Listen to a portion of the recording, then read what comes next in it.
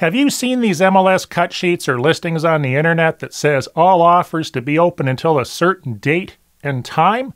Well, there's a reason for that, and it's very, very common in a seller's market. So essentially, what this does, it allows the property to be exposed to the open market for a number of days, and then hopefully at the end of that period, the vendors will have a stack of offers on that property. Sometimes it happens, sometimes it doesn't. It comes down to basically the price and the demand for that specific property, which will determine how many people are looking at it and how many offers you should receive. Obviously, a $200,000 house is probably going to get more offers in town than a million dollar plus house. And typically, you're not going to see this on million dollar plus houses. You're going to see it on probably the six to seven hundred thousand dollars and below in PEI. So essentially, what this does is two things. It allows the vendor to put the property on the market. The agents can take as much time as they need to view the house. Sometimes some buyers even like to go through twice to place furniture. The other thing it does is it potentially removes the problem of bully offers.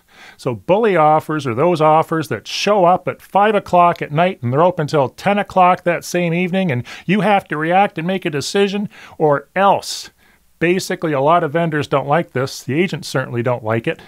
And it really doesn't give you the ability to see a, mul- a, multiple offer situation where you could actually have much better offers than the one you're being bullied into either accepting, counteroffering, or rejecting on an evening after you've worked a hard day. So that's why you see that. Typically, it will say open up, open until 5 p.m. It'll give you a date. The offers have to be submitted typically in the morning before a specific time.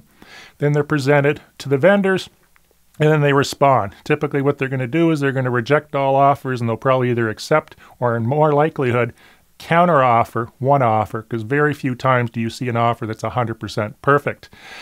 Thank you very much for watching this video and watching my channel. Be sure to subscribe, press the little bell symbol, give it a thumbs up, and if you have any questions all about Prince Edward Island in general or PEI real estate, put them in the comments below.